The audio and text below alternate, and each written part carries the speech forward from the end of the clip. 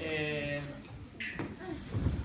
primero, agradecerle a, la Nati y a todos los, compañeros y compañeras de Izquierda Autónoma por, este espacio. Y no se imaginan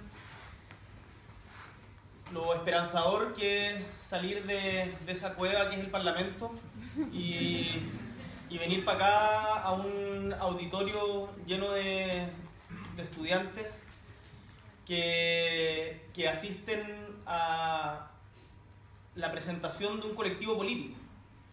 Y como algo mencionaba Jorge, en tiempos en que la política está tan, tan desprestigiada, en donde a mí me toca ir harto a colegio, en Magallanes principalmente, cuando uno le pregunta a los chicos de tercero o cuarto medio qué opinan de la política, lo primero que sale es que somos ladrones, corruptos, mentirosos y flojos.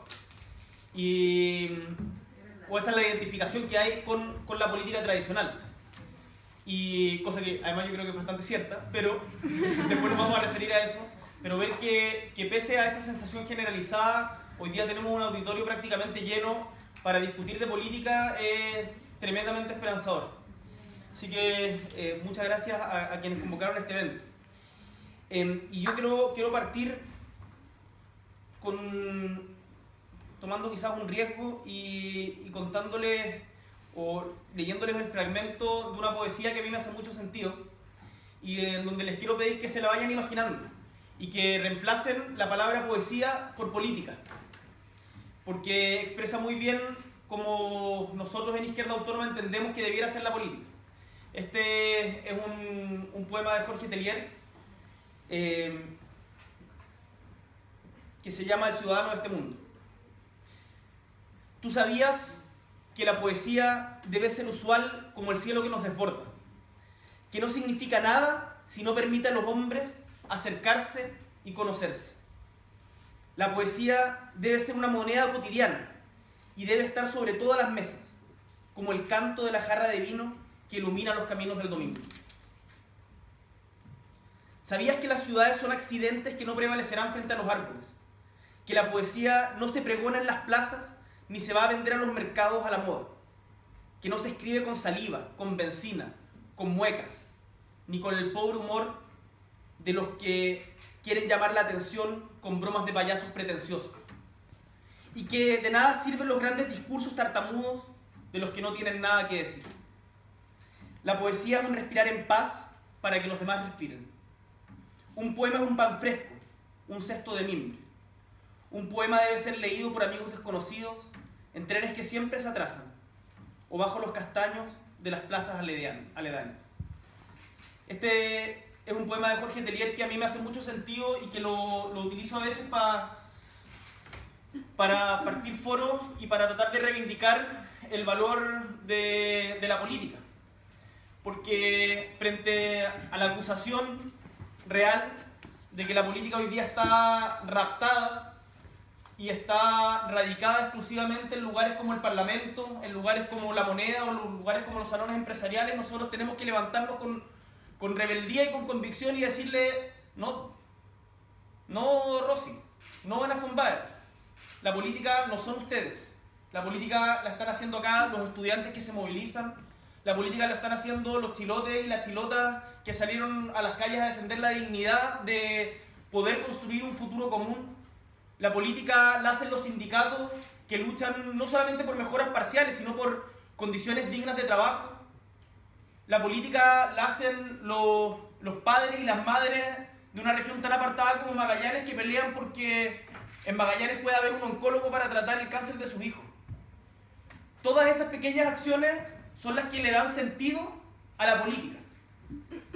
Y eh, no solamente las prebendas, las discusiones de qué candidato aquí, qué candidato allá, a quién le corresponde el cupo. No solamente las cuestiones procedimentales. En el fondo, lo que quiero defender con este poema, que le recomiendo que lo lean entero porque es muy bonito, es que, como, como decía Allende, la historia es nuestra y la hacen los pueblos y la historia se hace justamente a través de la política. Y eso no es un patrimonio exclusivo de viejos acartonados o viejas cartuchas, sino que es de todos nosotros. Hoy día, desgraciadamente, eso pareciera no haber sido así. Y yo creo que tenemos que preguntarnos por qué, por qué llegamos donde estamos, por qué hoy día una institución como el Parlamento es una de las instituciones más desprestigiadas del país, por qué los partidos políticos son de las instituciones que más desprecio generan para la mayoría de los ciudadanos. Eso no siempre fue así y en el futuro no tiene por qué seguir siendo así. Nosotros en Izquierda Autónoma hemos hecho la reflexión de que cuando volvió la democracia, entre comillas, se le dijo al pueblo que había luchado contra la dictadura, que para poder construir un Chile distinto había que irse para la casa. Yo me acuerdo muy patentemente, ayer lo escribía en una columna sobre el proceso constituyente, de que el 2011, el 2012, perdón, en, en, pleno, en plenas movilizaciones estudiantiles como presidente de la FEX me tocó ir al Congreso. Y en Afonbaer con Ignacio Walker nos dijeron, ¿saben qué cabros? Muchas gracias por poner el tema de la educación sobre la mesa, pero ahora nos toca a nosotros hacernos cargo. Nosotros sabemos cómo se hace. Váyanse para la casa, muchas gracias. Esa misma lógica es la que aplicaron durante los 26 años que llevamos de democracia. Y por eso se ha generado un abismo gigante, un abismo gigante entre la política institucional y la, mayoría, y la mayoría de los ciudadanos en Chile.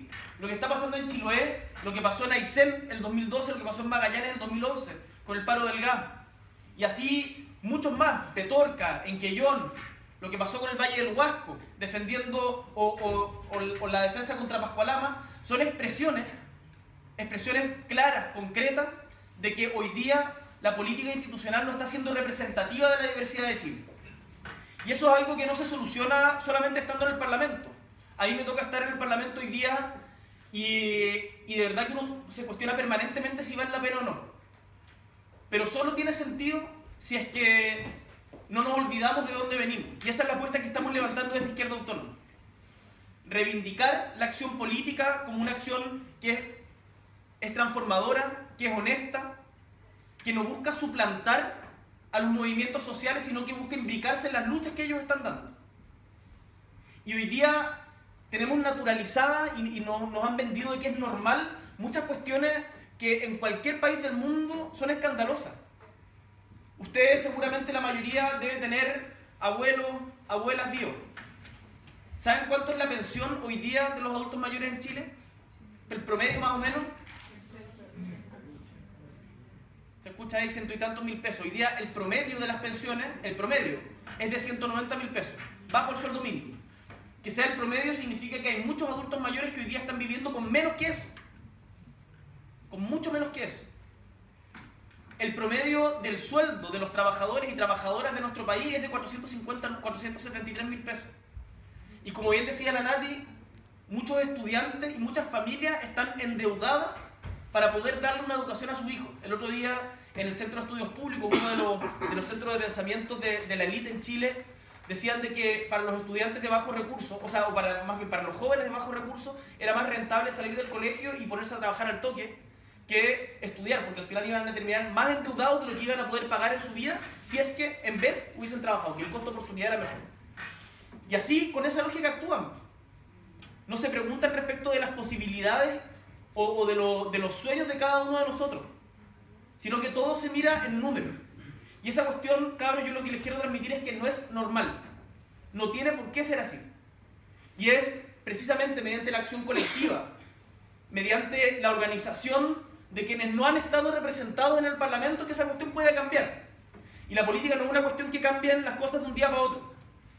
La historia de Chile y el mundo nos ha enseñado que es solo mediante movilización, solo mediante organización, que los sectores explotados por el capital, por los dueños del capital, solo mediante su organización pueden avanzar.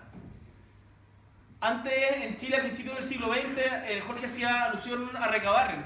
Cuando partió Recabarren en, en la salitrera, ni siquiera, o sea, no había jornada laboral, la primera ley social que se legisló fue la ley de la silla, que significaba que en los puestos de trabajo tenía que haber una silla para que pudieran sentarse los trabajadores. Y eh, se pagaba en la salitrera, ustedes bien lo saben, con fichas y no con dinero. Entonces, muchas veces resulta tentador para la inmovilidad para no hacer nada es decir, bueno, pero si las cosas siempre han sido igual, las cosas no van a cambiar. Si mañana, si igual tengo que trabajar independiente a quien elija. Lo que quiero transmitirles con esto es que las cosas no siempre han sido igual. Un amigo un día en, en, una intervención que hizo en una, en una reunión ocupó la siguiente metáfora que a mí me hace mucho sentido. Que la historia es como un tren, en donde las fuerzas progresistas ponen la dirección, manejan, digamos, el, el timón, pero que sin embargo son las fuerzas conservadoras las que le ponen el carbón. Y que nosotros, la historia cuando uno la mira en perspectiva, la historia larga, va avanzando hacia consolidar derechos, hacia mejorar las condiciones de vida de las personas. Pero solo se logra cuando logramos desplazar a los que nos quieren quitar el carbón, a los que quieren detener las ruedas de la historia. Y hoy día en educación está pasando justamente eso. Las peleas que se han dado desde el 2006, 2005 incluso, cuando nos levantamos contra el crédito aval del Estado, han hecho cambiar la discusión pública en Chile. Yo me acuerdo cuando empezamos las movilizaciones, esto también siempre lo cuento porque es muy paradigmático cómo, ha, cómo ha cambiado y cómo ha madurado el movimiento estudiantil. En Santiago marchábamos al frente de la central, de la Universidad Central, por el Parque Almagro, y la marcha que era la católica, la USACH y a veces el PEA, eh, y la Chile, perdón, eh, le gritaban a los compañeros de la central algo así como 300 puntos, 300 puntos, negándolo, viéndolos como ajenos. Y hoy día, que eso, que algo de esas características se hiciera del movimiento estudiantil, sería totalmente inaceptable. Porque hoy día los compañeros que estudian, ustedes que estudian en universidades privadas y los que estudian en universidades tradicionales, entendemos que somos parte del mismo problema y que en nuestras manos también está la solución. La reforma educacional no va a desmercantilizar la educación si no es con la movilización de los estudiantes. Y eso en todas las dimensiones de la vida. Si la familia de, de, los, de los chicos enfermos de cáncer en Magallanes no se hubiesen movilizado, hoy día no tendríamos un oncólogo en Magallanes. Porque la autoridad y la política institucional está absolutamente disociada. Me toca verlo en el Congreso permanentemente y hacemos un esfuerzo para, también para que no nos pase. Está absolutamente disociada de la realidad de la mayoría de los chilenos todos se atienden en las mismas clínicas, van a vacacionar en los mismos lugares, tenemos un sueldo de nueve palos y medio. Entonces, con esas condiciones de vida de la clase dirigente, evidentemente te disociáis y vais aumentando el abismo, aumentando el abismo. Y la única manera de cruzarlo es reemplazar a los que están ahí. Pero para eso se requiere organización. La democracia no se reduce solamente a votar cada cuatro años, sino a realizar estas pequeñas acciones como las que están haciendo ustedes. Así que ojalá que hoy día después de esta reunión participen en la asamblea de mañana de discusión y, vean siempre la historia larga. Porque las grandes transformaciones no son de un día para otro y requieren de mucho esfuerzo, voluntad y sacrificio. Como decía un revolucionario en los años 20, no me acuerdo la cita exacta, pero es más o menos así. Estudien porque necesitamos toda su inteligencia y organícense porque necesitamos toda su rebeldía. Muchas gracias.